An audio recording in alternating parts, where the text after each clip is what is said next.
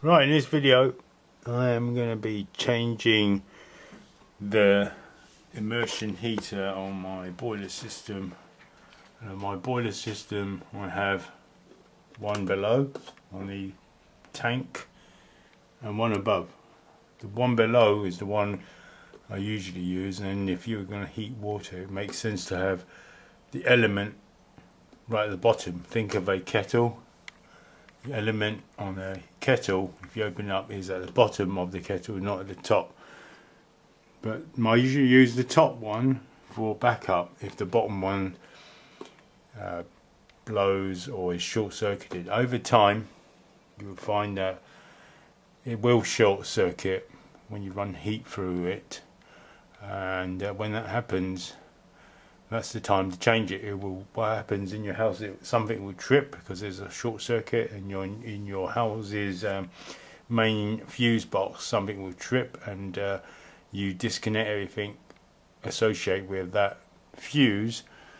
And um, when you go to switch on the thing that's tripping it, in this case, the immersion heater on the boiler, that will trip the the main circuit again so we know the fault is here. So you, I've been using that and the uh, it's been okay. We've been getting by. But it's not uh, good enough because uh, the water is just kind of getting really hot at the beginning and then kind of not really hot when it needs to be in the middle of your shower. Alright so so anyway it's hot water does rise and that's why you won't get a proper kind of heating up of all the water. So isolate the mains. What I mean is switch it off at the wall. So switch off the pump. There's, there's a there's a wall socket for that. Switch off. Switch off. The relevant ones in your home. So I've turned off the, the electric going to to here this cable of electric going in there and I've turned off the electric going into the pump. Right the uh, heater for me is I bought from Wickes.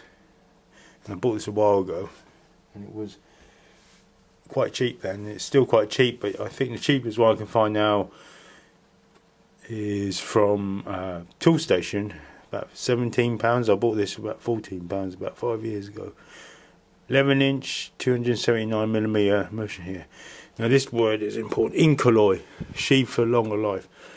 Highly if you live in a high um, what do you call it? High particle area which is carbon, uh, calcium carbonate or lime scale area you'll need Incoloy which is what this is. I live in a high high uh, calcium carbonate area. That's what it looks like. You need that I recommend long nose plier and you'll need a tool like this because that will fit in there. Forgot turn off the water mains as well. Make sure you've got nothing running like the washing machine like what I have going at the moment so I've got to pause and wait for that. So the water after many turns of that valve is coming out um, the thing is, look, this is kind of loose anyway, but cutting it back clockwise to tighten it. I don't trust that valve. It's so hard to take off, it shouldn't be that hard. So I think because it's easily rotatable, I am going to change that valve as well. What I've recently done to my car, as you've seen one of my previous videos. If I see something faulty, I'm going to change it because I'm not going to let that happen to this. I'm going to get, because it has been always been a little bit leaking, so it's a leaky valve. So I'm going to change that as well. Must be like a 50 litre tank. About the fourth bucket load that I have uh, big enough. Fed the thing up near, near the bottom, I've just pulled my little rubber hose off. Right, that's the last of it. So I've uh, I'm going to wind this and change it because it is kind of leaking. Still got the tub underneath. Oh, is that just came off like that? So the, all the P, PTFE was pushed to the bottom. And the top of it no PTFE tape. Is this white tape you put on. Comes in a roll. It's really cheap usually. Uh, and that stops leaks and that was all kind of pushed down to the bottom my guess is it's it's too much PTFE and there's a lot of there is a lot of I can feel it lime scale I put my finger up there I can feel it I'm going to clean it out a bit.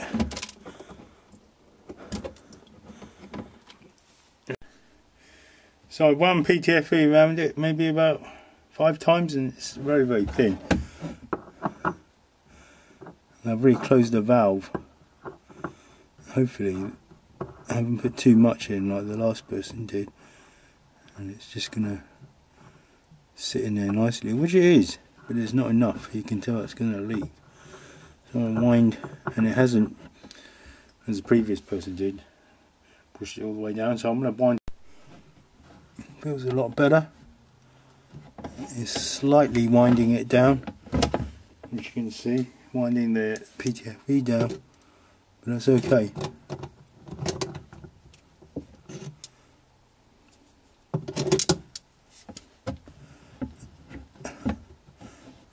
Let's hope it's not facing the wrong way in a minute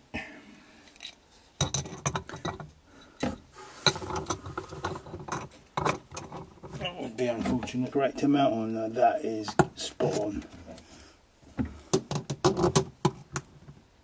That has come to a stop. Just there. Right.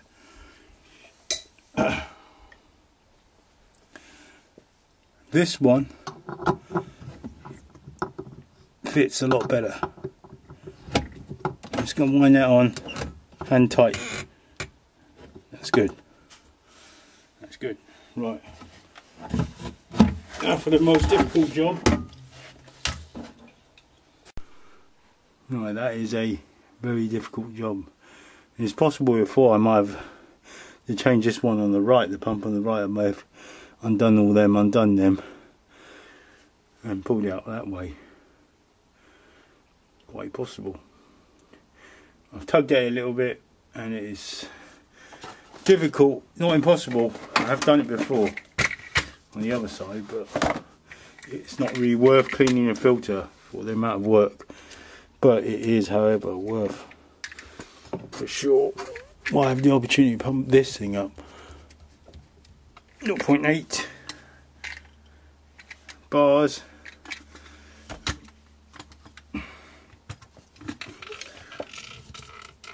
because what normally happens when you pump it up like that as you un as I undo the thing when there's water involved. I undo this, water, air leaks like it does then. It doesn't give you any chance. But with the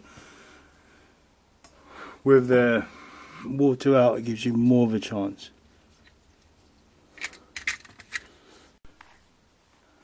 By the way, I only do this if it's the pump is going off by itself. No, so I pump I pumped up some air. Listen. Yes. So with water in it, that wouldn't have been possible. So I'm going to pump it up again. The way I did it, it's a screw-on jobby. What's a cool one? Pump it up to wherever I pulled on it and then I twisted it like. So it, normally with the air, with the water pressure above it, it cannot be possible.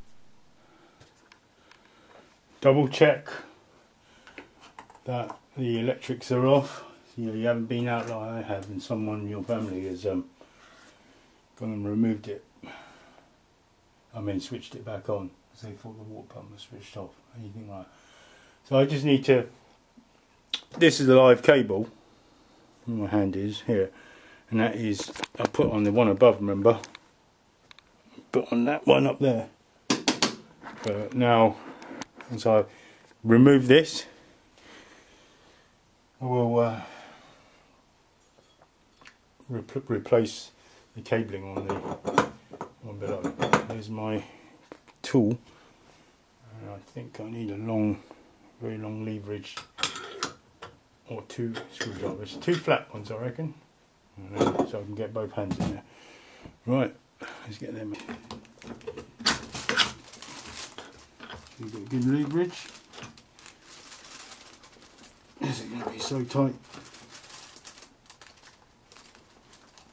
I need a really big lever.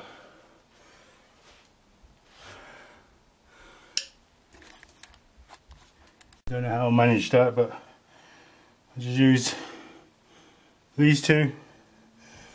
I used 100% brute force, but it's just on the verge of buying, going out and buying screwdrivers that will fit, and Phillips ones as well. So you can go past this hole here, big, long ones, give you leverage. It's leverage that counts. With enough, enough leverage, I don't know what scientist or philosopher once said they can lift the world. And it is true. Let's get like a foot long Phillips screwdriver both sides. That would have come out. It would have been no struggle whatsoever. Because what I'm doing is the lever, I'm moving a tiny amount is basically newtons, the force applied times the distance the, from the from the fulcrum, from the turning point. So the more leverage you have, the more torque you can apply, and that's it.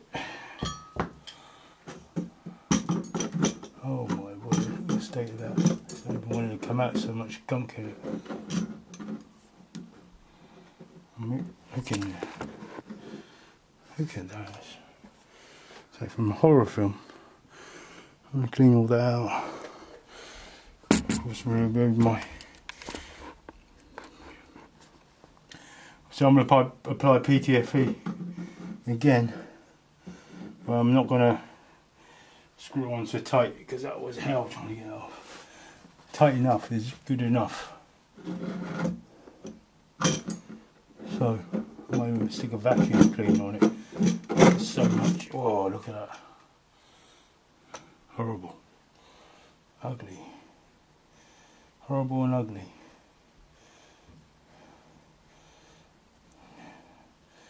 Right, so double check when you do the wiring. You're basically repeating what's just just double up on the wiring what I mean by that, I'm getting tired now. Swap the wiring over. What look what what is above there, how it's wired up. I'll wire up to a new one. After of course after you screw the new one back in. Right, let me just clean it up. Take a right. I've sucked up about five kilograms of this stuff.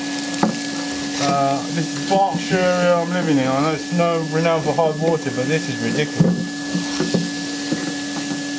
I can't believe how much of this limescale deposit is in here. So doing this job alone for this reason is worth it. I can't believe you can hear vacuum cleaners probably I've really changed the bag once already. Ridiculous.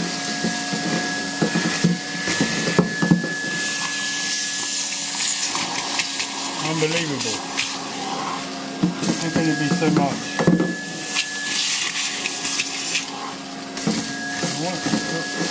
One, of these Stuart Turner pumps have problems after a while. It's just mounds of this stuff. Of it. You be careful what sort of vacuum cleaner you're using. Make sure the water doesn't go through to the engine. It's just dampness in there, but I'll be checking the engine is above the engine is above the um, the filter so every now and again I'm going back checking it is just how can it it hasn't even been that many years since I changed this just want to do a bit of touting of this uh, Henry vacuum cleaner the standard one you find although there's water in here as you can see I've already poured it away see at the bottom all that in there this filter is dry. This goes on top. And that's that's the engine's above it, so it's a very good design. That's why they're probably the most used vacuum cleaners in the UK. Thoroughly recommend it. Nearly. So 10 years worth of lime scale. That's about a 10 kilogram bag. Now obviously hot water we can get to because it's that opening, but the cold water probably up here. If it got really really bad, I was just theorising what would I do. There is a port on the up upstairs here. I'll have to go in from above. That's the only way. So that's one of the jobs I'm looking forward to in the future, but it may have to be done. Right, a little bit of PTFE around it, probably five times around. And uh, that hole is properly cleaned out. And I've WD-40 and cleaned out the thread. Right. I'm just going to go for a natural kind of wind in like that and it feels it should get progressively tighten that should be pretty much how it should feel. Right. Um, obviously not going to wind it on too tight. Hear that clickiness. As it's spinning around naturally. It's, that that's going to give you that watertight seal. Oh, nearly forgot. There is a washer that comes with it. Nearly, nearly, nearly forgot wash washer on as well. So my needable. No, this is probably a good exercise. What wound off a lot of the lime scale on the threads. So don't forget the washer. Rewired it all. Uh, one last thing, don't forget to check for leaks stay a while, don't just walk off. And uh, basically check for leaks. When I turned on all the valves, pump the water in, again put down these two back on. If you switch anything else, make sure the water fills up quite a lot before you turn any pumps on. And these valves are open.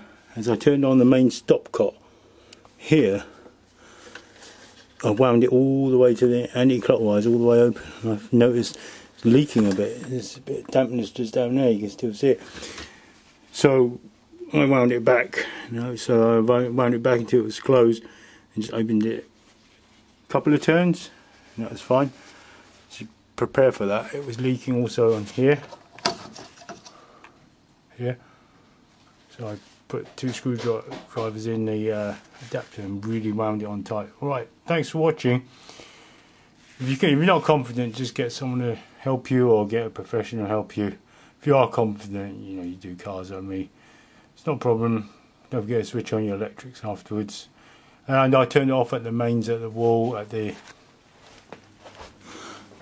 turned it off at the mains up there. Flip the switch if I did this, so doing it in daytime would be helpful.